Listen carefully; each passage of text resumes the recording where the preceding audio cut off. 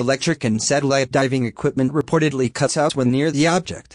Stefan Hogeborn, a professional diver with OceanX, said, anything electric out there, and the satellite phone as well, stopped working when we were above the object, then when we got away about 200 meters, it turned on again. Sonar has found drag marks behind the object and geologist Steve Weiner says according to his tests, the structure is not a geological formation. He said the object is made of metals which nature could not reproduce itself. Sat nearly 300 feet below the surface and measuring 26 feet tall, the marine explorers found the strange craft with the side scan sonar.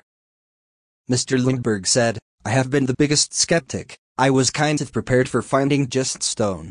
For me it has been an amazing experience.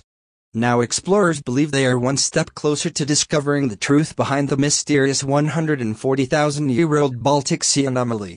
Bearing a striking resemblance to the Star Wars Millennium Falcon, the Baltic Sea anomaly appears to be formed of pieces of angular metal, prompting claims it is a crashed UFO.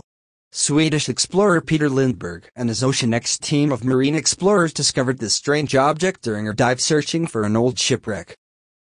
Instead he discovered the so-called anomaly. Even more intriguingly a structure that looks like a staircase appears to lead to a dark hole with a second structure found nearby. Speculation is rife over what the object could be with some saying it could be an anti-submarine device left over from World War II, a battleship gun turret, or indeed a flying saucer. Despite looking like a huge rock, scientists say the structure appears to be made of metal. Electric and satellite diving equipment reportedly cuts out when near the object. Stefan Hogeborn, a professional diver with OceanX, said, anything electric out there, and the satellite phone as well, stopped working when we were above the object, then when we got away about 200 meters, it turned on again.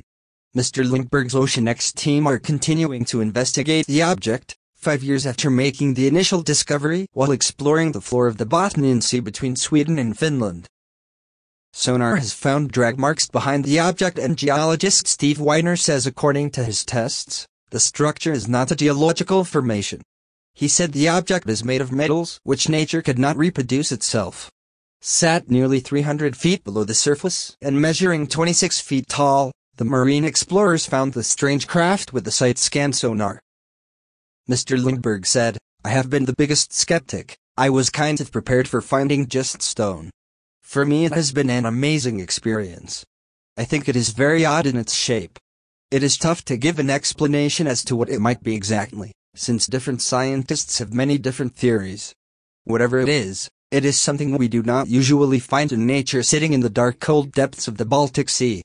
It is thought the object could be at least 140,000 years old after a university professor linked the mysterious disk to the Ice Age. Volker Brüchert, an associate professor of geology at Stockholm University, said, My hypothesis is that this object, this structure was formed during the Ice Age many thousands of years ago. OceanX is expected to return to the wreck to continue investigating the discovery.